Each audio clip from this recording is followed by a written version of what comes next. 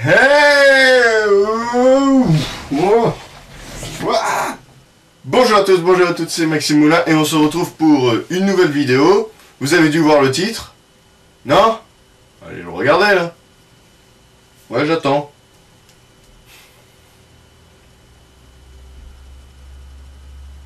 C'est bon? Bon, alors le titre Tsundere et Maxime Moulin.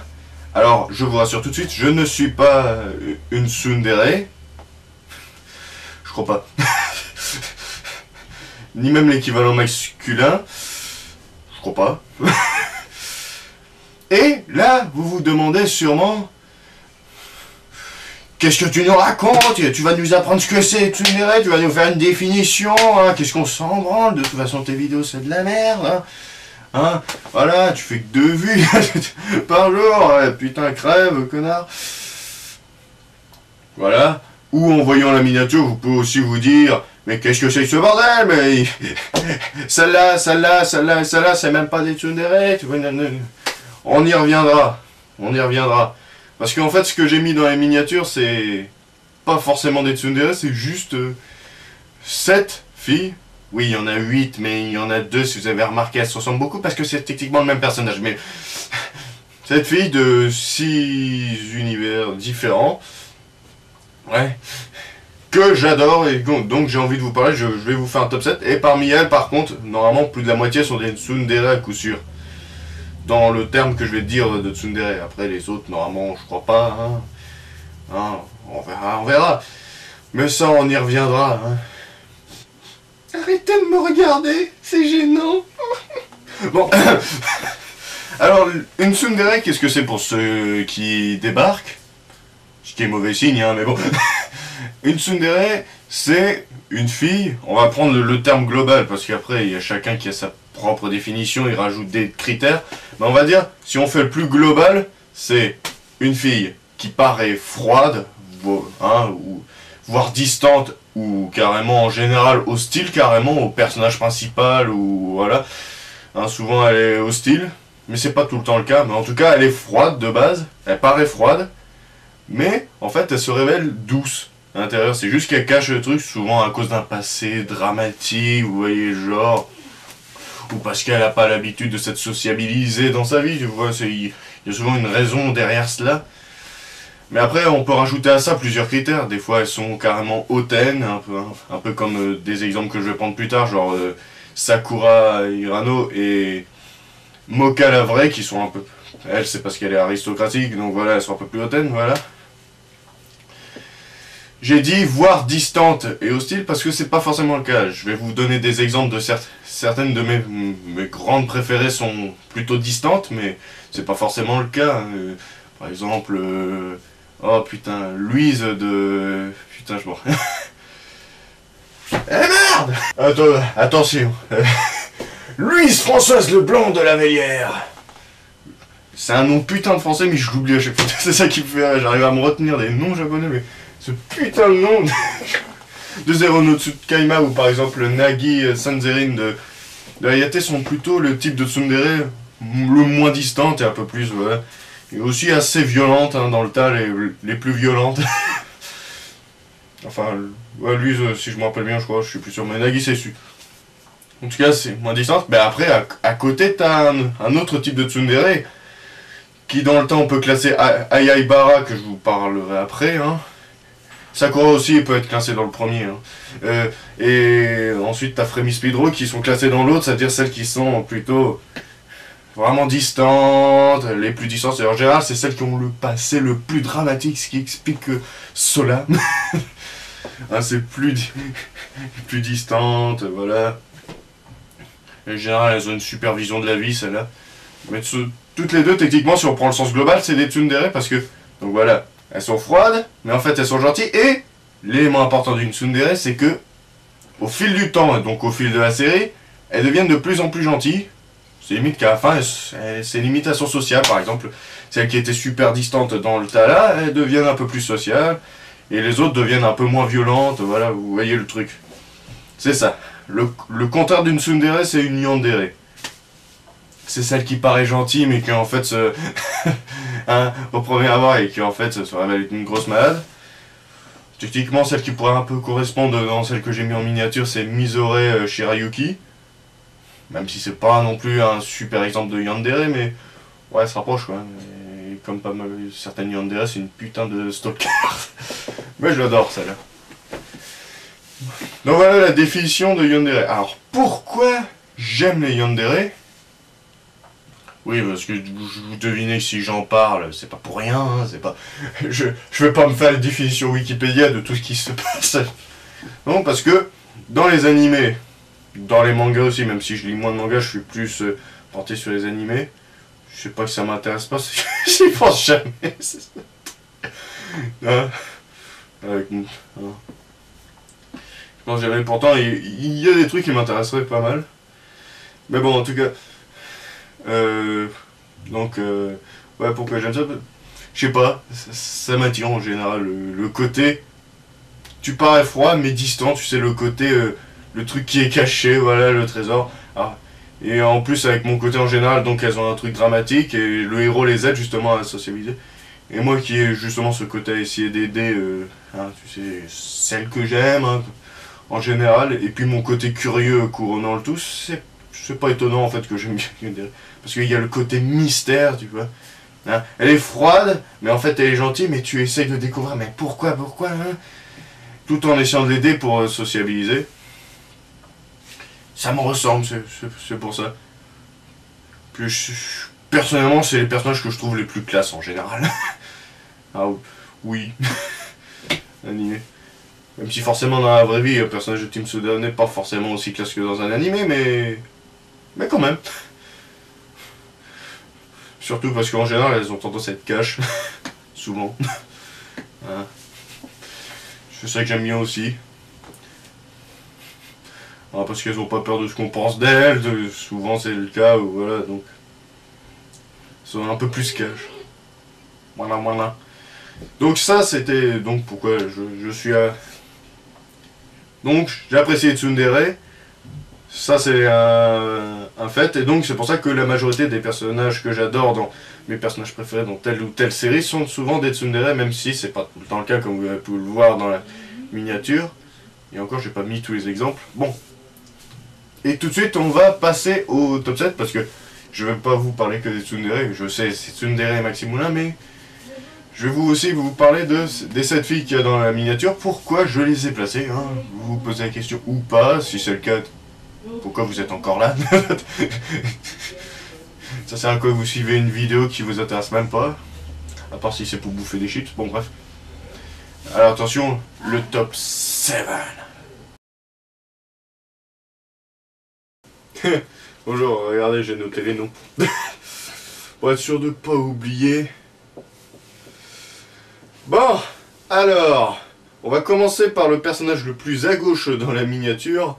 On parlera pas de moi, hein, moi avec mon sourire. La, dent là, vampire. oui, j'ai une dent de vampire. Je cherchais pas. Saiko Buzujima. Putain, ça fait. Je suis plus habitué, ça fait un moment que j'ai pas regardé ce que vous avez. Là, pour les miniatures, c'est les personnages qui me sont venus au moment. euh, J'ai oublié d'autres. C'est les animés qui m'ont le plus marqué. Hein. Bon, après, il y en avait d'autres, hein, mais après, il faut trouver des personnages qu'on peut incruster. Hein. Voilà. Par exemple, l'héroïne de Gokudo, je l'ai pas trouvée. Dans l'image incrustable. Pareil pour Risa de Hayate, non plus. de toute façon, il n'y a que la première qui est techniquement une tsundere dans le tas. Et encore. Bon, donc Saiko Buzujima, qui n'est pas vraiment une tsundere, justement, c'est plutôt une... Une yandere, ouais, parce que elle commence, même si elle est un peu distante au départ, c'est- elle est considérée comme gentille par tout le monde, tout le monde le sait, voilà, c'est imposé de base. Et au fur et à mesure du truc, on découvre que c'est une vraie psy- Oui, il y a des spoilers, ça, donc euh, regardez pas si vous voulez pas spoiler. Hein. Euh, ouais, donc au fur et à mesure, on découvre que elle a un gros côté sadique, que psychopathe en elle, elle aime tuer les gens. Oui, donc oui, c'est le décrescendo, c'est le, ouais, le côté yandere, tu sais. Ça, hein. Mais, mais je l'adore parce que elle est en violet. C'est généralement une couleur que j'adore. J'avais peut-être pu voir aussi. ouais, c'est... Le violet, noir, hein, ces couleurs-là, c'est ce qui me plaît en général. Dans les vêtements d'un personnage ou dans les cheveux des animés. Oui, parce que pour ceux qui sont pas fans des... qui connaissent pas assez bien les animés, qu'est-ce que vous foutez? Ah, mais... Mais en général, il y a des codes de couleurs pour les personnages pour qu'on puisse les, comparer. C'est pour ça qu'ils ont tous des, des, cheveux de différentes couleurs et de façons. Pour pouvoir les reconnaître, comme par exemple dans une série. Ah tiens, cheveux violets et long, elle, voilà. Et High School of the Dead, si vous connaissez pas, c'est c'est très simple. Donc c'est c'est Takashi Rei, euh, donc euh, Saiko et plein d'autres survivants, voilà, d'un lycée euh, qui s'est fait attaquer par des zombies, voilà. Il y a une pandémie mondiale, on sait pas d'où ça vient et tout, ils essayent de survivre dans, à Tokyo, voilà. Un pitch de base, donc voilà, des zombies. Même s'ils sont jamais appelés zombies dans, dans la version originale, hein, ils sont désignés par eux.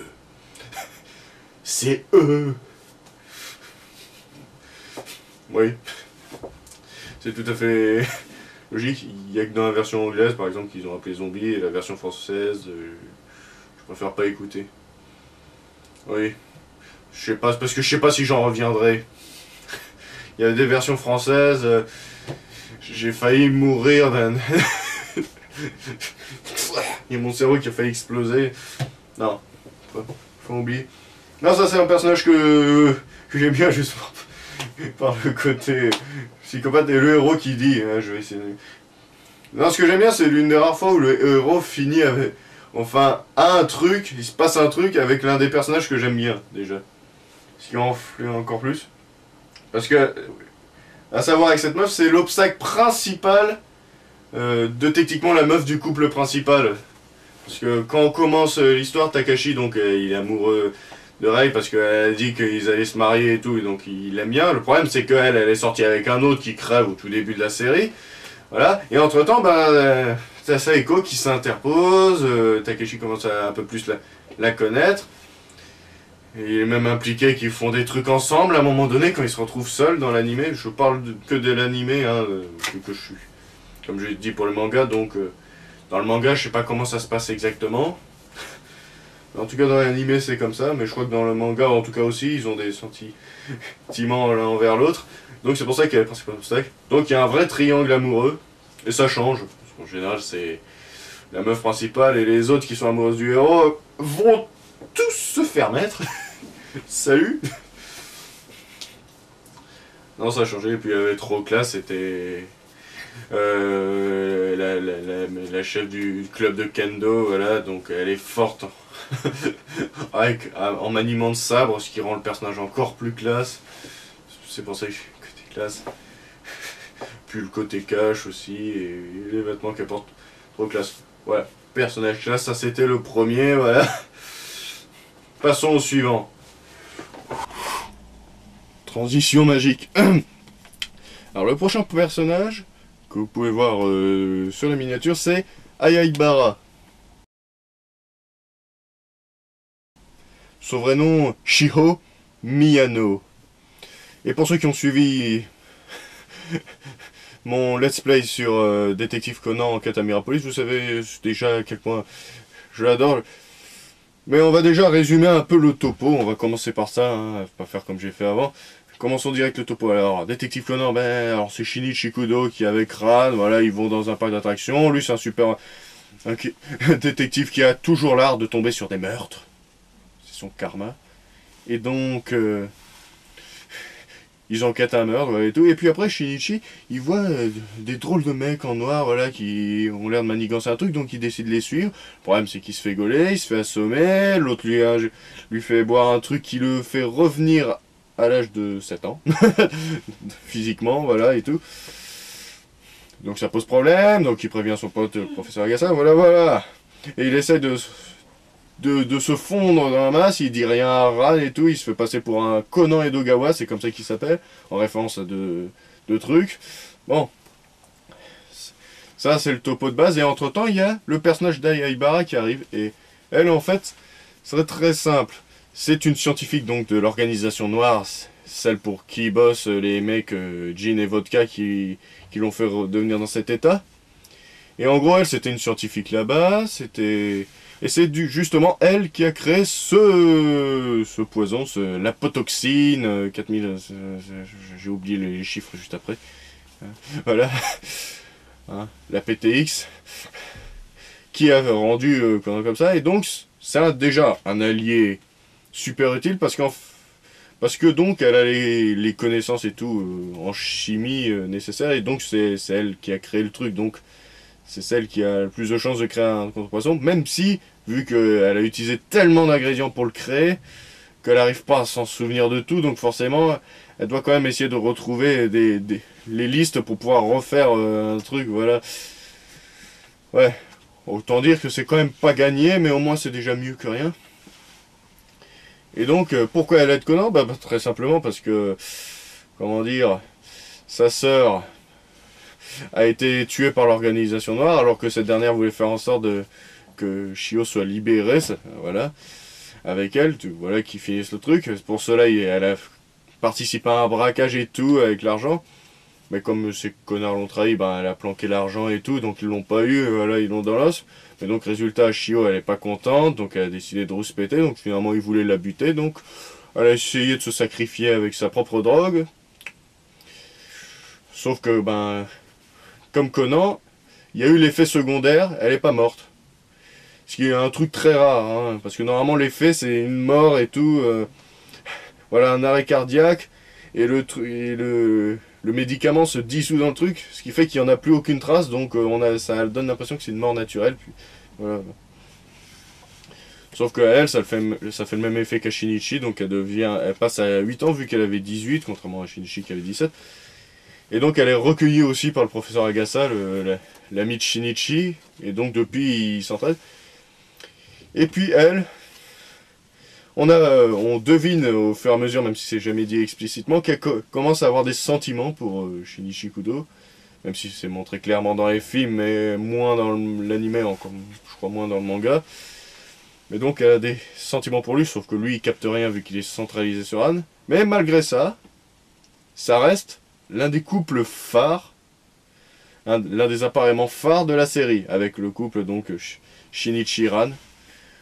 En second, et même peut-être en premier, ça dépend les pays, et ça commence à être en, continue à devenir en hausse. Le couple Kohai euh, prône bien aussi, hein, c'est limite, euh, ils arrivent à un point d'égalité, et surtout, le couple Kohai continue d'augmenter ses limites, euh, c'est même en train de actuellement dépasser, même au Japon où c'était le couple Shinichiran qui était premier. Alors les explications à ça, c'est que déjà le personnage d'Aibara est classe, mais on va y revenir, et puis Peut-être que le personnage de Ran commence à saouler, parce que c'est vrai qu'au bout de je sais pas combien de tomes, hein, là, où ça tire en longueur, et puis l'animé c'est pas mieux 800 épisodes, où t'as dû... C'est sûr, peut-être qu'au bout d'un moment, les gens commencent à en avoir marre, même les fans hardcore, donc ça, ça penche à l'autre côté. Je pense que c'est une des explications. Ce qui me fait rire, c'est que moi-même, j'étais fan de Shinichiran au début, puis dès qu'Aibara est arrivé, poum, et plus, plus les épisodes sont passés, et surtout quand j'ai redécouvert la série, plus je j'aime plus Ran, voilà, c'est... Je peux plus la saquer. Bon, après, Ran, c'est encore moins pire que les Detective Boys, mais bon... Hein. Kenta, Ayumi, Mitsuhiko... Mais bon, ça c'est une autre histoire, on n'en parlera pas, c'est pas le sujet de la vidéo. Hein, ils sont pas dans mon top ça, j'en reparlerai pour les personnages que je déteste le plus dans l'anime, si vous, voulez je vous en parle un jour. Et donc Aibara, ce que j'aime bien, c'est son côté. Justement, elle fait partie de celles qui sont le plus froides. Elle est froide parce qu'elle a eu un passé de merde. Elle a grandi dans une organisation que forcément elle avait pas vraiment envie de, travailler. Hein. Elle a fréquenté pratiquement personne dans son enfance. Elle était isolée quand elle bossait aux États-Unis. Il y avait que sa sœur qui était là pour euh, conforter, sœur qui est finalement morte, ses parents sont morts quand elle était petite. L'ambiance, donc elle, elle a eu un passé de merde, ce qui explique pourquoi elle est froide et surtout cynique au départ. ouais, elle était super cynique, elle fait même croire qu'elle a buté euh, le professeur quand elle révèle son identité à, Conan.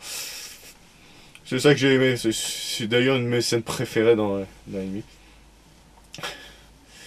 Et puis, Ce que j'aime bien, c'est donc elle est cash, elle, est drôle aussi. Elle a, ce qu'elle aime bien, c'est taquiner et, bien foutre la honte à Conan, que surtout des fois quand ce dernier cherche. hein, quand ce dernier cherche, c'est toujours elle qui gagne, hein, quand ils doivent se combattre dans les trucs. hein. Même quand il l'enferme dans une cave pour être sûr qu'elle interfère pas dans ses plans, elle arrive toujours à venir, tu sais, elle gagne toujours.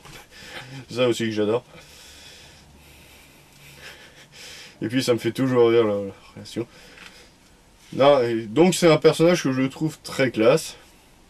Même si forcément, en temps normal, elle a l'apparence d'une gamine de 8 ans, même si, en général, elle s'habille d'une façon assez adulte, et des fois elle se comporte même comme une adulte. Truc qui me fait toujours rire parce que Conan lui reproche souvent ça, et inversement, Aibara souvent lui reproche qu'il agit comme un adulte, alors que les deux font la même connerie, hein, souvent, hein, d'agir de ne pas agir comme un enfant plus comme un adulte. Mais, ils ont tendance à se le reprocher ça, ça, ça donne des trucs euh, comiques. Voilà donc euh, on la voit très peu dans sa, vraie forme de 18 ans mais bon. Ça reste que quand même quand tu la vois tu sais tu devines direct que c'est pas une fille normale c'est une adulte. Et moi je la vois comme une adulte et c'est sûrement mon personnage préféré. Truc Bon après c'est peut-être parce que la série a bercé mon enfance, oui. Même si j'ai grandi avec la version française, que la version japonaise je l'ai écoutée surtout récemment. Mais bon, on est... Voilà.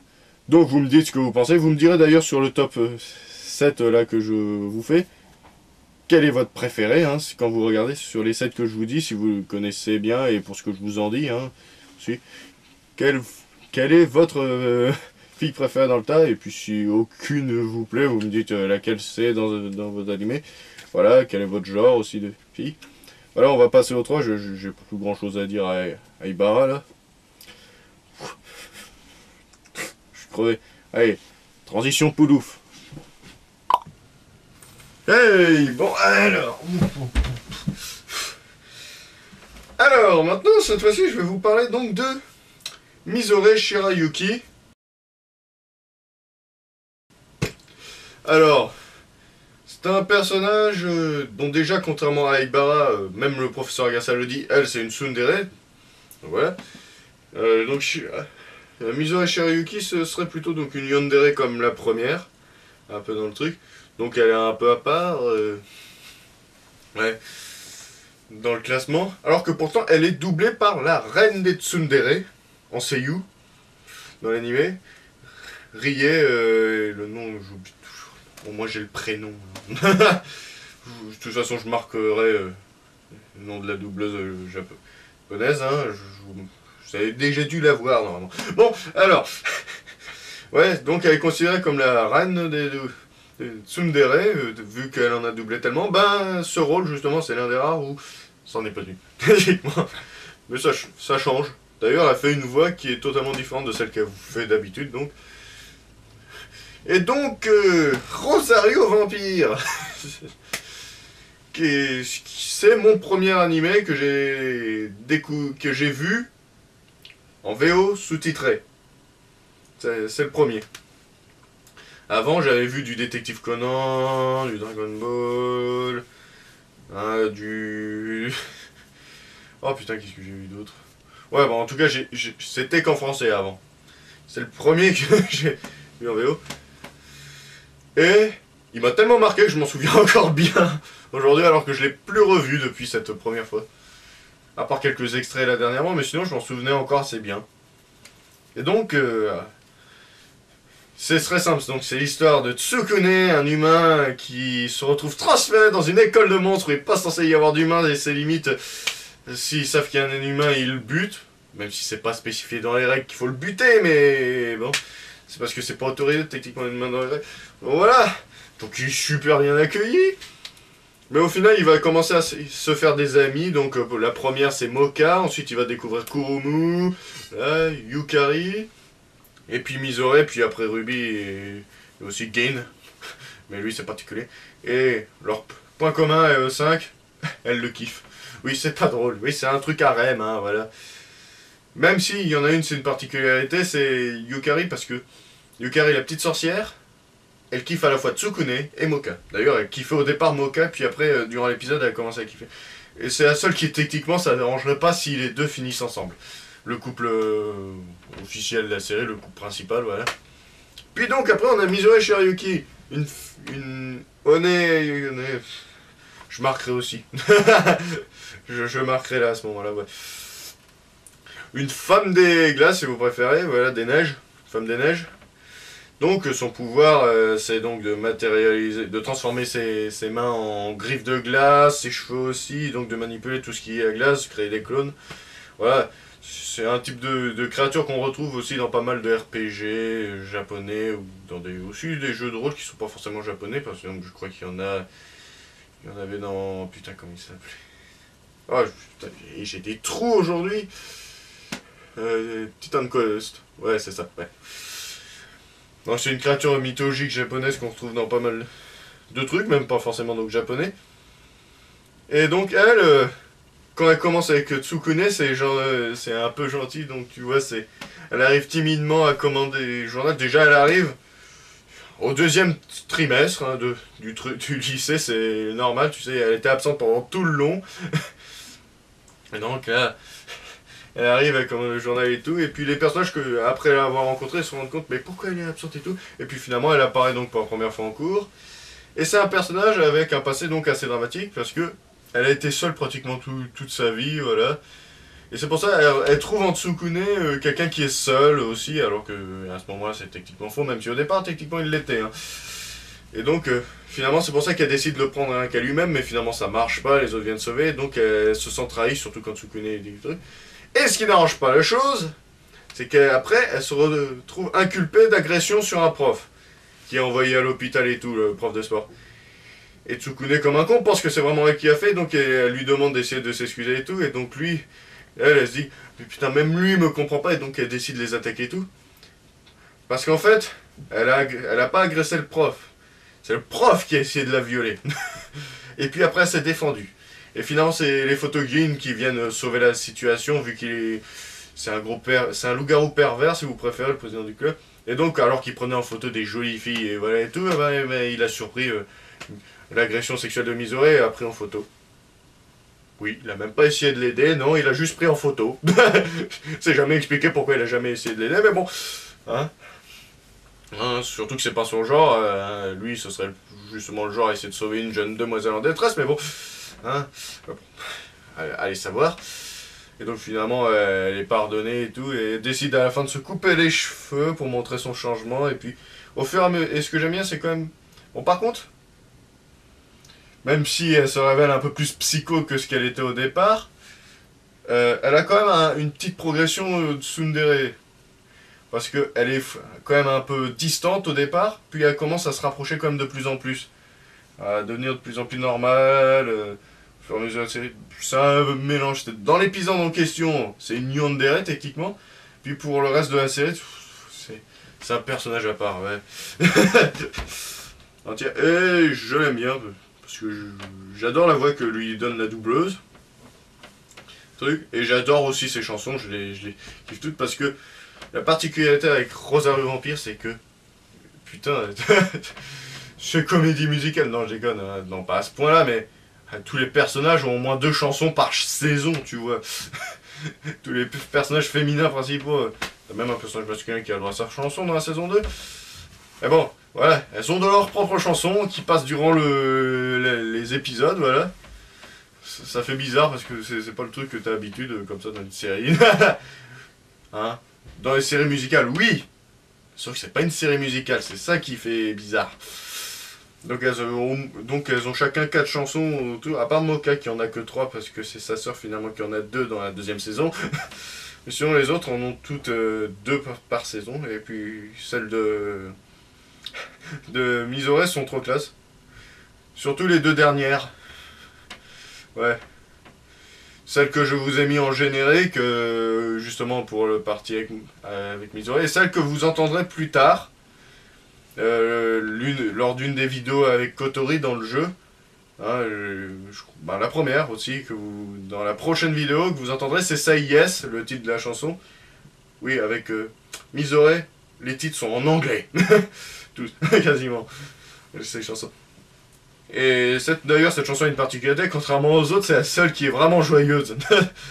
Parce que les trois, deux premières sont vraiment tristes, la troisième c'est ouais, et puis la, dernière c'est c'est yes parce que elle, chante ça quand elle est en train de faire un curry pour, son son tsukune, donc voilà, donc elle est trop contente, c'est la seule fois.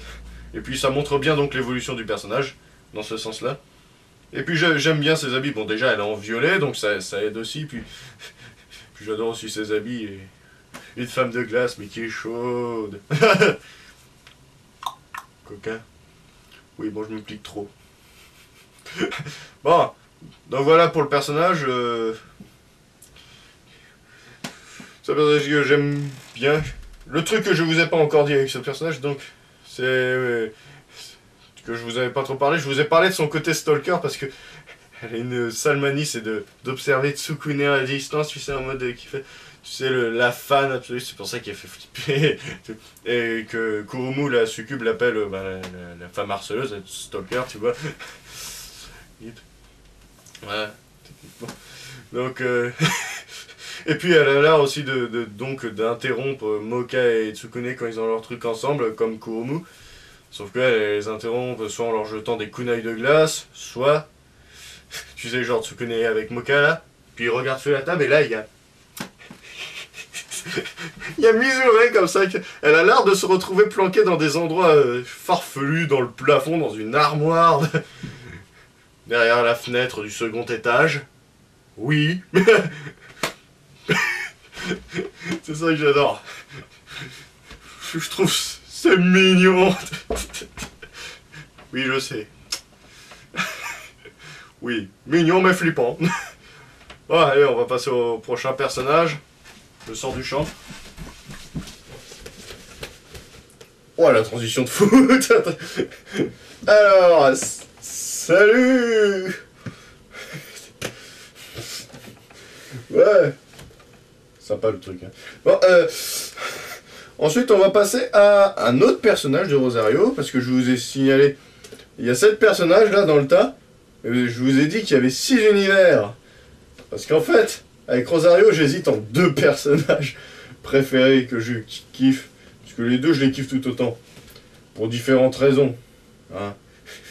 Le côté flippant, mais gentil, doux et glacial et violet de, l'autre. Et puis, de l'autre côté, on a aussi un petit côté violet, un peu. Hein, euh, aussi rose. C'est Mocha. Mais attention, parce que t'as deux Mocha. Alors en anglais, il y a Odeur Mocha, c'est la version en dehors, avec rose, genre trop mimi, tu sais, trop kawaii, vraiment rose bonbon et tout, que Tsukune est amoureux, voilà, dès le début, voilà. Qui est techniquement le, couple au début, hein, officiel. Puis après, t'as Inner Mocha, celle à l'intérieur, dès qu'il enlève son rosaire, voilà, ça, libère son truc, parce qu'en fait, euh, le, rosaire euh, de Mocha, lui permet de d'isoler de à l'intérieur la vraie Mocha. Parce que Inner Mocha, en fait, c'est Mocha, la vraie. Ce qu'elle est censée être, avec les super pouvoirs euh, puissants de vampire. Sauf que comme son père et compagnie euh, pensaient qu'elle ne contrôlait pas assez bien ses pouvoirs et tout, je crois que c'était une connerie comme ça, dangereux. Donc pour la sécurité de tout le monde, le rosaire, comme ça, ça atténue très fortement ses pouvoirs. Elle en a quasiment plus. Hein. Le seul truc de vampire qu'elle a, c'est elle craint l'eau à ce moment-là et je suis souhaitant. Mais sinon, à part ça, les pouvoirs, zéro. voilà, c'est simple. Et en contrepartie, elle devient plus gentille et tout que ce qu'elle est en vrai. Hein, et cette version-là, non, elle dégage. non, moi, celle que j'aime bien, c'est la vraie. Parce que la vraie, même si elle est un peu hautaine, euh, aristocratique au début, ah bon, c'est dû à son éducation, une famille de riches, euh, truc. Mais encore, ça va. Ça... En temps normal, c'est pas un trait de personnalité que j'aime pas trop. Mais avec cette mocha, ça passe parce que, en contrepartie, t'as son humour ironique et tout. Et puis son côté trop stylé, quand elle se bat, elle défonce et tout. Et puis elle a toujours de l'humour, une petite réplique à dire. Eh, tu connais de mater. Alors que, ce que j'aime bien, c'est que on pourrait penser au premier abord qu'elle n'aime pas Tsukune et, qu'elle n'aime pas les autres. Hein. C'est une tsundere, elle. Elle, c'est sûr, c'est une tsundere. Parce qu'elle est froide avec tout le monde au départ. Même Tsukune. Alors qu'en fait, elle fait ça parce qu'elle veut les protéger. C'est pour ça qu'elle est froide. Et finalement, elle a quand même le béguin pour Tsukune. Et elle le montre bien, même si elle, elle aime pas trop qu'il s'interpose le truc parce que c'est un simple humain faible. Hein, de base, même si après il évoluera en ghoul dans le manga et puis en vampire voilà dans le truc. Hein. voilà, il évoluera, il deviendra plus fort. Et puis elle, elle aimera ça justement. Elle aimera ça, ce côté plus fort. Et puis surtout, donc là le gros spoil c'est qu'à la fin, les deux mokas fusionnent. Donc la vraie, euh, celle qui est à l'intérieur, plus la version un peu plus gentille. Ce qui fait qu'elle devient un peu plus gentille, même si elle garde quand même son côté te défonce. Et c'est pour ça que, même à la fin, je l'aime bien encore. Et franchement, c'est pour ça que j'hésite entre elle et l'autre, pour différentes raisons, parce que c'est pas du tout les mêmes raisons. Hein. Parce que elle, c'est une vraie tsundere, contrairement à l'autre, que c'est un cas à part. Et je kiffe trop. Voilà. Toujours euh, le petit humour, son, son, humour euh, ouais, ironique. Hein caractéristiques des tsundere, en général, elles ont tendance à avoir un, humour sarcastique, ironique et voire cynique. Hein. non, franchement, nice le personnage. J'ai rien d'autre à, rajouter. Je, vous conseille de découvrir la série. Voilà. Donc voilà, on va passer au prochain euh, directement. Euh, aussi une tsundere, moi je la considère comme une tsundere même si je l'ai pas encore vu marquer ça. Parce qu'elle a la caractéristique des tsundere, froid, puis elle s'attendrait avec le temps. Et c'est la transition miaou. Eh, salut les gens. Bon, alors, prochain personnage. On en a déjà fait pas mal, parce que là, on va passer de l'autre côté de la miniature. Hein. On a fait les quatre personnages euh, qui sont présents euh, sur le côté gauche de l'image. Maintenant, on va faire ceux sur le côté droit. Et le premier, c'est Frémy Speedraw un personnage récent dans l'animé. Le manga date de 2012, donc un peu moins. Mais l'animé date de cette année. Et toi, tu bouffes pas ça. Vous voyez pas Miyara qui essaye de bouffer le, monocle de la caméra. Hein? Je te vois. Bonjour, ben. Et Frémy Speedro, c'est Ala Ibarra. Bon, comme pire, hein. Franchement, c'est l'une des tsudere les plus froide et isolée, tu sais, de base quand tu es au début. Mais elle a une vision du monde que j'adore. Donc voilà. Bon, pour vous résumer, donc euh, la série euh, s'appelle Roka no Yusha. Donc c'est simple, il y a, six héros qui sont désignés pour vaincre le démon machin, tu sais, avant quand il se réveillera et tout. Ils ont une marque le truc. Le problème, c'est que cette année-là, manque de peau, il y en a 7. Donc forcément, il y a un intrus. Donc euh, les mecs qui s'entretuent jusqu'à savoir, tu vois, c'est limite ça, jusqu'à savoir qui c'est le coupable. Et ce que j'ai bien aimé avec cette série, c'est les apparences sont trompeuses. Ce serait la phrase qui caractériserait la série. Hein. Parce que la série se joue des apparences pendant tout le long, même si moi j'avais trouvé direct. Hein, quasiment, ouais, ouais, directement qui c'était. Je me suis dit en toute logique, la personne qui pense le moins, et voilà. Bon, ça, je vais pas vous le spoil. Ah, ce serait vraiment du gâchis. voilà. Ce que je peux vous dire, c'est pas Frémy. voilà. Ni le héros. qui s'appelle Adleto. Voilà. Et donc, le personnage de Frémy, c'est simple.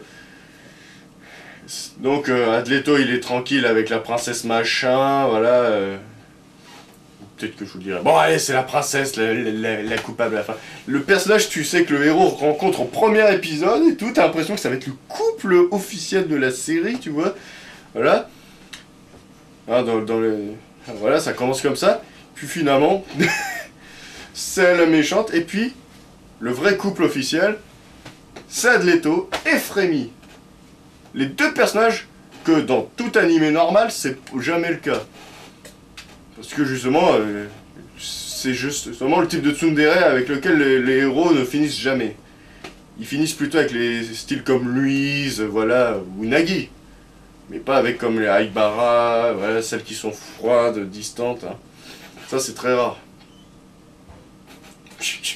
Il y a Rosario, hein, je vous ai montré l'exemple, mais même encore à la base, lui, il, aimait la version en, en dehors. Donc voilà. Donc c'était pas pareil. Hein. Et puis en général, donc, il y a un obstacle, tu vois. Elles arrivent en obstacle. ce genre de tsundere, par exemple, Aibara arrive en obstacle pour Anne, même si Conan il a pas encore gaulé, mais bon, techniquement c'est un obstacle. Et la version intérieure de Moka arrivait à un obstacle pour la version extérieure, et finalement, même si elle a gagné, c'était donc l'obstacle. Alors qu'avec Frémy, c'est Frémy qui est de base. Et c'est pas la princesse qui est l'obstacle. Non, non, non, la princesse, euh, non, non. L'obstacle, c'est une vache à qui arrive à la fin de, la première saison et qui a un assez grand rôle dans, le roman. C'est un, un novel à la base, qui ensuite a été pris en manga, mais bon. Dans le truc à la base, donc voilà, c'est l'obstacle. Et donc elle arrive après. Donc pour une fois, c'est pas l'obstacle, cette tsundere. Non, Frémy, ça commence bien. Et Adleto, c'est limite, il est en amour dès le début, tu vois. Dès la première rencontre, c'est flash. Et c'est pour ça le mec, le premier truc, elle essaye de le flinguer parce que à la base c'était l'histoire de Frémy, c'est simple. Elle est née d'une calamité, c'est le nom des bestioles, hein, si vous préférez, avec un humain, voilà, une maman calamité et un humain. Ils ont, ils ont buté le père euh, après la naissance, voilà, et ils ont élevé la fille pour qu'elle soit une tueuse de potentiels héros.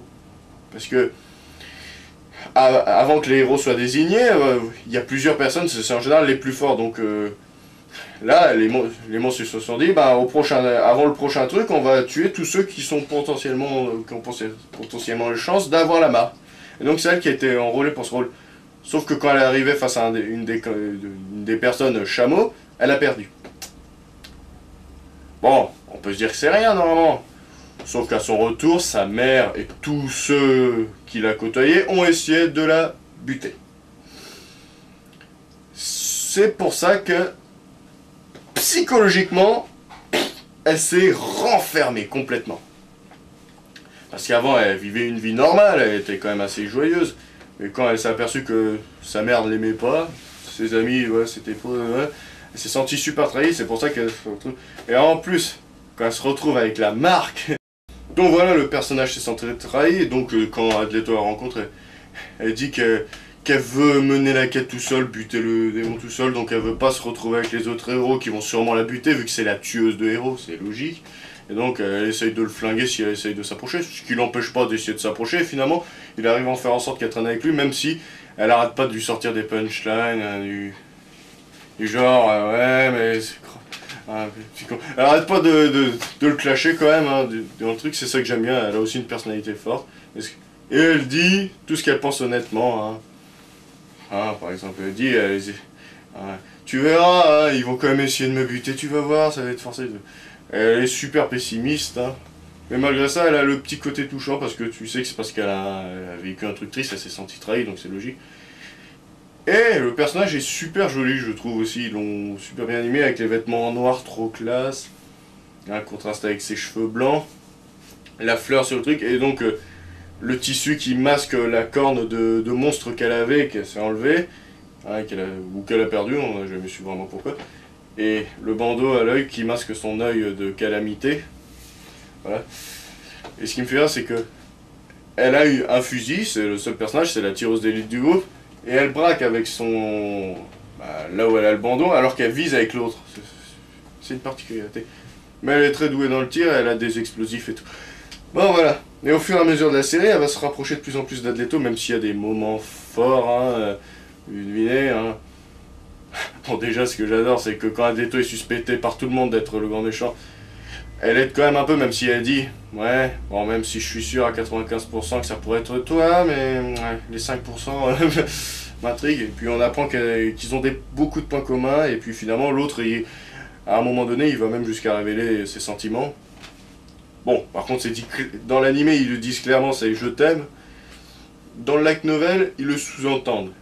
Il dit différemment, mais ça, ça, ça veut dire la même chose, tu vois, ça sous-entend clairement.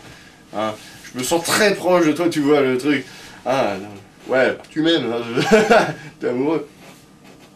Ce qui explique pourquoi, dès, qu'elle a été suspectée au début euh, hein, d'être le traître, euh, il l'a protégée, hein, même si au final c'est lui qui est suspecté, donc voilà, ça explique plein de trucs. Et le moment et mouvement, c'est quand elle décide de plus croire en personne, et donc non plus en lui, et donc elle décide de, d'essayer de le tuer. Et là, le seul moyen qu'il arrive pour faire en sorte qu'elle reprend en lui et qu'elle s'allie de son côté, c'est de prouver que c'est pas elle. Parce qu'il sait très bien que dès qu'on l'aura buté, on va suspecter elle Donc, il fournit les preuves que c'est pas elle euh, qui peut être le truc. Et il arrive très bien. Donc, à ce moment-là, elle comprend que c'est pas lui Machin. Et donc, elle l'aide. Ouais, c'est l'une des premières à l'aider avec euh, l'assassin. C'est ça que j'adore. Les apparences sont trompeuses. Techniquement, elle, tu, pourrais te dire que non, elle va pas du tout aider. Mais si, hein. Et puis en plus, elle, fait partie du couple principal, le héros amoureux, voilà. Autour des sentiments, ils ont même un petit bisou du truc. Ouais. Et puis de l'autre côté, t'as l'assassin euh, chat, lui qui parle comme un chat et qui a aussi euh, la queue. alors tu pourrais dire, ah, lui aussi ça va être le gros ennemi, c'est peut-être même le traître. Non, pas du tout.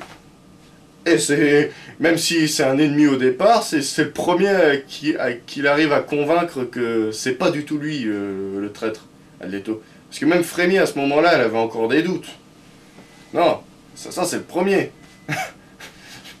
non, les apparences sont trompeuses. voilà. Et donc j'ai hâte de voir ce que ce sera la, prochaine saison. J'ai déjà... Par contre là, contrairement aux autres séries, là j'ai lu, j'ai feuilleté surtout les derniers chapitres du light novel. Je, je veux pas non plus trop me spoil, je vais attendre l'animé, mais j'ai vu les, derniers chapitres de light novel pour Et je sais que euh, le couple va en baver. Hein. Il arrive que des merdes pour euh, Mais bon, toujours comme ça. Avec les couples de persos principaux, il y a toujours des merdes qui viennent.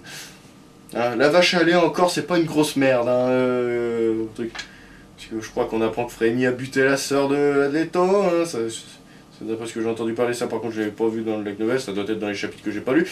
Hein.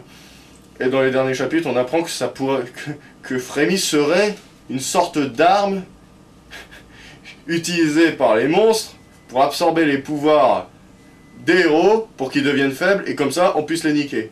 Donc un danger potentiel pour eux.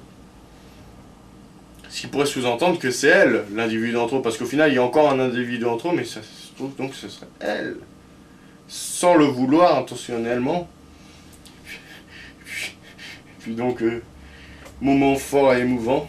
Donc voilà, ça c'était Frémis Pedro, je, l'adore, c'est pour Et quand je vois comme ça, donc c'est pour ça que je dis c'est une tsundere, même si je l'ai pas vu, vu dans aucune liste. Pour moi, elle, a l'archétype de base de tsundere. Hein Froide et violente, parce qu'elle essaie quand même de, le buter à de reprises, et distante. Et qui devient de plus en plus chaude et ouverte et tout.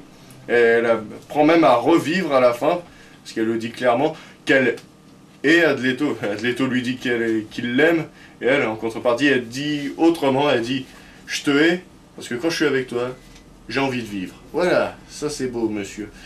Euh, ressortez là. Ou madame, hein, Et donc, il nous reste plus que deux personnages à voir, puis nous, arrête de jouer avec ça. Allez. Alors les gars, ça va? Alors, le prochain personnage mode présentateur télé. Euh, les nouvelles de l'actualité. Bon, le prochain personnage, c'est Azada Shin. Oubliez direct ce nom parce que c'est son vrai nom. C'est Sinon. J'adore son nom. J'adore faire des vannes avec, mais bon. Euh, j'en ai fait d'ailleurs dans le roman que je suis en train d'écrire. Alors, c'est un personnage de Sword Art Online. Et c'est un de mes deux préférés. Mais l'autre, j'ai pas décidé de le mettre parce que. Oh, l'autre. C'est Yuki. De, du, de l'arc à part, parce que j'ai vu que dans le roman c'était un arc à part, c'est comme l'arc Excalibur, de l'arc euh, euh, Rosaire, encore Rosaire, Rosary et Mother, Mother Rosary, voilà, ouais, qui a un arc euh, à part dans, dans, le roman et qu'ils ont adapté donc dans l'animé, avant le, quatrième arc qui est encore en cours d'actualité, et qui ferait 60 épisodes si on l'adapte et qui fera 60 épisodes, vu qu'ils ont prévu de l'adapter jusqu'au bout tant que le manga continue. Donc ça fera au moins 60 épisodes, et le truc n'est pas encore fini, qui fera moins de temps. Bon, bref, c'est aussi un personnage que j'adore, mais je veux pas en parler parce que c'est... Putain de personnage dramatique. Hein. Parce que ce que je vais vous dire sur Sinon, c'est dramatique aussi. Hein, c'est aussi un personnage qui a un passé de merde comme Frémy. Hein. Mais, c'est rien comparé à Yuki. En gros, elle, a perdu ses parents assez rapidement, sa sœur, qui est morte du sida, mais comme elles sont jumelles, elle l'avait contracté aussi quand elle avait reçu du sang en étant toute petite. Donc elle a vécu avec le sida, les maladies et tout. finalement, son état s'empirait. Elle a vécu pendant trois ans dans le monde virtuel. Voilà, elle a, eu pas mal de passages dépressifs. Et puis finalement, elle meurt à l'âge de 15 ans. C'est triste. C'est un truc sympa. ah, putain de dark. Je veux même pas savoir s'ils vont nous réserver pour les... Putain, s'ils arrivent à nous faire encore plus dramatique que ça, parce que ça va de, plus en plus dramatique cette série, hein. Au fur et à mesure des saisons. Il y a Clark Excalibur où ça allait, même si euh, il y a aussi du dramatique. Il y a tout le temps du dramatique, hein, n'importe quel arc. Bon, bref. Bon. On va vous parler donc de... Je vais vous parler... On va... Oui, nous sommes plusieurs. Salut Robert. Bon. On va vous parler... Je vais vous parler de Sinon. Voilà. Qui est le personnage que vous pouvez voir en deux versions, là. Parce que dans Sword Art Offline, vous savez pas... De... Allez voir Wikipédia, c'est un peu trop long à expliquer. En gros, ils étaient dans un jeu où on pouvait vraiment mourir parce que le, créateur était wouhou Voilà, qui s'appelait Sword Art Online, et ensuite ils ont fini plutôt plus tard dans Halfheim Online, Halo, suite au contact, et puis aussi Gun Gale Online, là où ils rencontrent justement, sinon on peut parler plutôt de ça. Gun Gale Offline. Donc c'est c'est là-dedans que le héros Kirito, qui est, qui est vaillant, qui est cool. Non, Kirito. euh, personnage trop classe qui adore s'habiller en noir et qui prend justement en général des persos juste parce que c'est noir. Ah, le point commun. enfin, quand même, après, moi je réfléchis après, je suis pas non plus totalement con, mais. Mais bon. Même si des fois c'est hésitant. Prendre juste un personnage parce qu'il est habillé en noir trop classe. Bon. Et donc il rencontre sinon là-bas. Au début elle est assez sympa. Donc on pourrait dire que c'est pas une tsundere, mais euh, quand elle découvre que c'était un homme et qu'il s'est foutu de sa gueule, là, c'est de nouveau froid. Mais à la base, elle est sympa avec lui. Mais en général, elle est quand même plutôt froide, distante, due à un traumatisme. À l'âge de 11 ans, euh, elle, elle, était à une banque, il y a eu un mec euh, drogué et tout qui a essayé de, de braquer le truc, qui a buté un mec et a failli en buter une autre. Donc finalement, elle, s'est interposée. Elle a réussi à lui chipper l'arme et elle a buté. Elle a ensuite été rejetée par sa mère, par tous les autres camarades qui l'ont huée et tout. Et puis, donc, ça te coupe bien du monde, et donc c'est pour ça qu'elle est un peu renfermée. Elle a qu'un ami, voilà, au début. Ami qui se révèle être un gros psychopathe qui essaie de violer, mais c'est pas pour ça qu'elle le pardonne pas à la fin. Oui, elle arrive à le pardonner. Hein.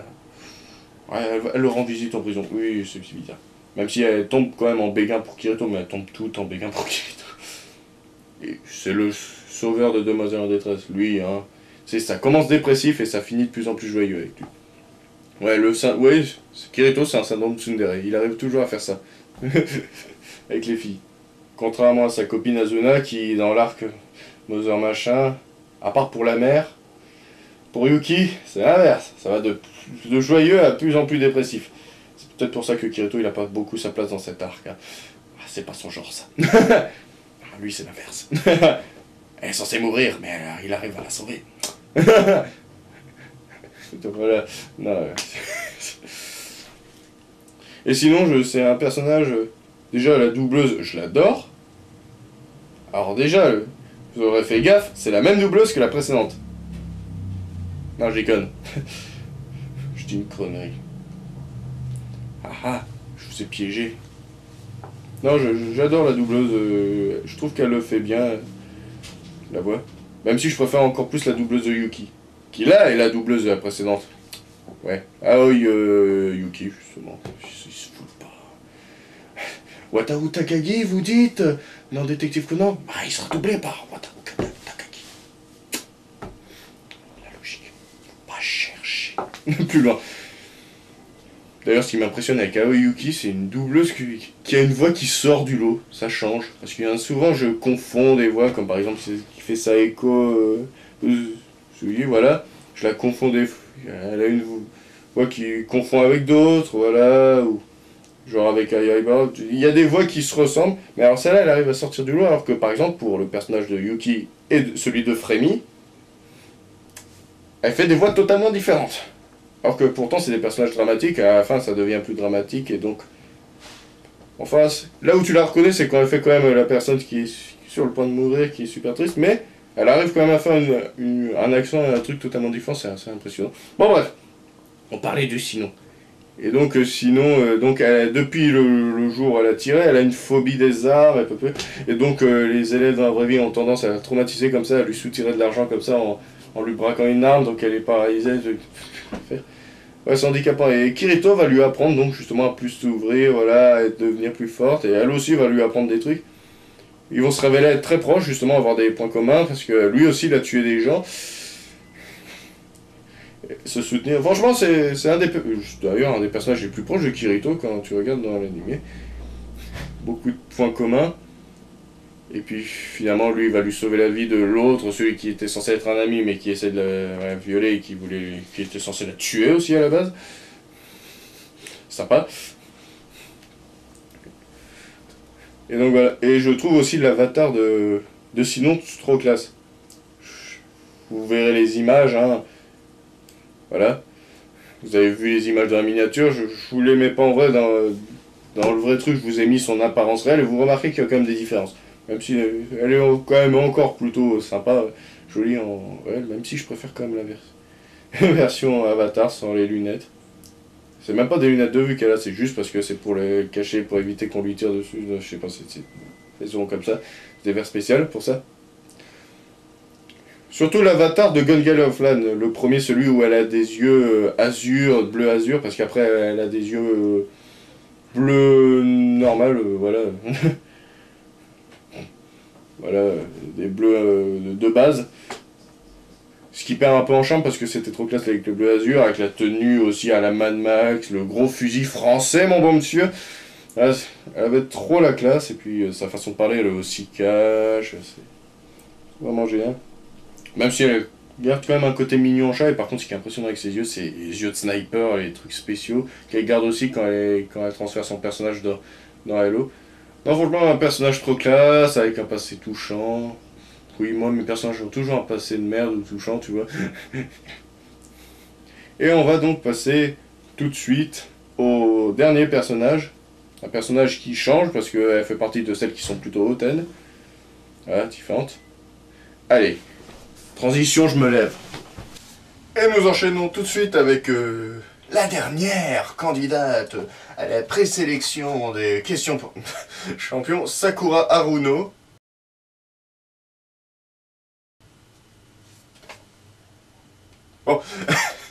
Sakura Ono, qui pour ceux qui ne le savent pas, non mais sans là, faut pas exagérer, Naruto, personne n'en a entendu parler Bon, Naruto, c'est simple, c'est... Non, je veux pas résumer, faut pas déconner. Bon, Sakura. Juste le seul truc avec Naruto que je veux préciser, c'est comme une série, ce qui m'étonne, c'est... D'habitude, dans un animé, le premier personnage avec qui le héros tombe amoureux, c'est sous souvent celui avec qui finit. Même si là, je vous ai montré des contre-exemples. Bah, Naruto, c'est encore le cas. Parce qu'il est amoureux de Sakura à la base. Mais elle, elle aime Sasuke, donc elle finit avec lui aussi à la fin. Et donc, en contrepartie, Naruto, il finit avec Hinata. Qui, elle, est amoureuse de Naruto dès le départ. Et donc, pour une fois, il finit pas avec son ami d'enfance. Parce que Hinata... Ouais, normalement, c'est comme ça qu'elle se prononce. Ça fait longtemps que j'ai pas regardé. Euh, euh, il ne la rencontre que tardivement. Il la rencontre dans la série. C'est pas une amie de toute enfance, contrairement d'habitude, donc ça change, parce que souvent aussi c'est ami d'enfance. Hein. Il n'y a qu'avec les tsundere où en général c'est pas ami d'enfance quand ils font un couple tsundere. Mais sinon, il y, a le syndrome ami d'enfance. Le truc qui marche très peu dans la vraie vie. Et donc, voilà. Donc Sakura, euh, donc qui est amoureuse de Sasuke. Sakura c'est l'inverse de Sasuke. Sasuke je l'aimais bien au début. Puis, euh, de plus en plus petit, euh, je trouve que c'était qu'un gros con qui arrête pas de changer de camp. Bon, au final, a priori, à la fin, même si j'ai pas regardé, il revient du côté des gentils Mais ouais Non, mais Sasuke, c'est le Albert Wesker. Même quand il est du côté des gentils à la fin, tu dis... Il est vraiment gentil, là? Parce que c'est un Wesker, il arrête pas de trahir, trahir, trahir les deux camps. Mais il y a un moment, faut arrêter Mon Dieu alors, ils auraient pas pu le buter, tout simplement. D'ailleurs, à un moment, je crois que Sakura voulait d'ailleurs le buter, ce qui changeait. Parce que euh, c'était le moment où euh, elle pensait que tout était perdu, c'était pour euh, se pardonner aussi de Naruto, de l'avoir fait souffrir. Ce qui montre qu'elle sentait quand même un petit truc avec Naruto. Ouais. Non, et ce que j'aime bien par contre avec Sakura, c'est l'évolution de son personnage. Parce qu'au départ, c'est un personnage que, qui me plaisait pas. oui. C'était une tsundere déjà, mais bon, c'était vraiment trop euh, égoïste. Hein. Voilà, c'était plutôt égoïste, c'est ça. Truc, une grosse. Une salope. Et. Plus la série passe, et puis après, quand t'arrives dans Shippuden, c'est encore pire. Et plus elle devient sympa. Voilà au cours de l'évolution de la série ben Justement, comme euh, tout elle évolue. Et puis, euh, ben, c'est justement durant l'évolution que j'ai commencé à apprécier le personnage et à bien l'aimer. Parce que c'est sûrement un personnage qui a le plus grande évolution de caractère. Elle passe d'une gamine donc euh, égoïste et tout, qui rejette Naruto et tout, parce que voilà, il est différent, à une femme et tout, qui aide les autres et qui donc se, se sent coupable d'avoir été quand même une salope avec Naruto. voilà. Non, c'est ça que j'ai bien aimé avec le personnage. Voilà. Puis j'aime bien le nom Sakura, qui est le nom des cerisiers japonais, du truc. Non, c'est pour ça que c'est le, personnage préféré. Ça fait longtemps que j'ai pas regardé, donc... Euh, mais Sakura, euh, ce que j'aime bien avec elle, c'est son évolution, et après elle devient un personnage que j'aime beaucoup en termes de caractère, et puis euh, physiquement ça va aussi. Hein. Et en habit, en habit, aucun n'a vraiment d'habits. pour moi personnellement. Hein. C'est pas vraiment l'univers avec les habits les plus classe que j'ai jamais vu. Hein. En fait, ceux qui ont des habits classe, c'est les étrangers. Je me rappelle comme dans les premiers. Les seuls qui ne portent pas de tongs dans la série, c'est les hommes en noir, là, venant d'un autre pays, euh, venant d'Europe, bonjour. bon, ça, ça me faisait rire, ça. C'est le contraste qu'il y avait avec euh, les personnages habituels. Bon, donc euh, voilà, ça c'est pour Sakura Haruno. Elle, c'est vite fait. Donc voilà, on a fini ce, top 7. Bon, ben, en tout cas, j'espère que cette vidéo vous a plu. Vous me direz en commentaire ce que vous pensez de ce top 7. Et en attendant, ben, je vous dis euh, à la prochaine. Nouvelle vidéo. Tiens, j'ai reçu un message. Qu'est-ce qui se passe? Alors. Ah, c'est Steve.